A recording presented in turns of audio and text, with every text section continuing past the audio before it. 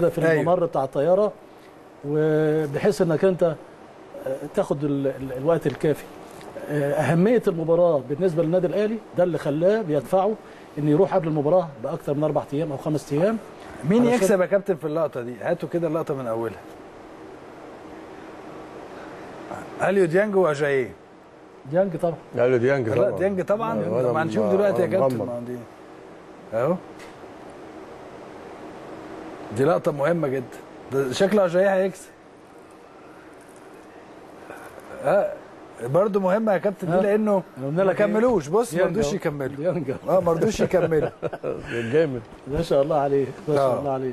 حاجة مكسب مكسب رائع. راجل لعيب مكتمل بفضل الله. حاجة تعاقد معاه.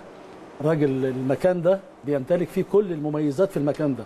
آه. من جهد من قطع كورة من آه، تمريرات صانع لعب آه، يجيد التسديد بكلتا القدمين. يعني انت كل مكان كده انت بتختاره في كراس حربة ك half مدافع ك back right كل مركز من دول بيبقى ليه مواصفات. اللاعب ده فيه كل المواصفات لاعب الوسط. يعني إلى جانب إنه أحيانا بيبقى فيه اللي بيلعب في وسط الملعب ده ال half المدافع بيبقى مجرد إن هو بيقطع كورة. زي مثلا لعيب الزمالك طارق حامد بيقطع بس. إنما. وبيلتحم وكده.